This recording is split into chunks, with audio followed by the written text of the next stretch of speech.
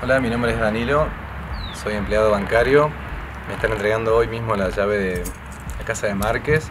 Y bueno, una experiencia muy, muy linda, muy placentera. Encontrarse con uno que.